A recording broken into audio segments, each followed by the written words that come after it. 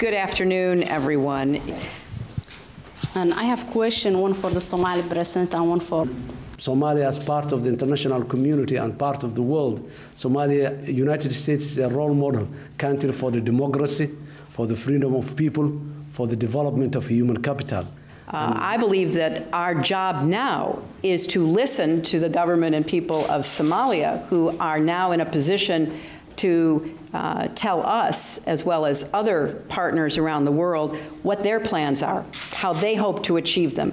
So we have moved into uh, a normal sovereign nation to sovereign nation uh, uh, position, and we have moved uh, into uh, an era where we're going to be a good partner, a steadfast partner to Somalia as Somalia makes the decisions for its own future.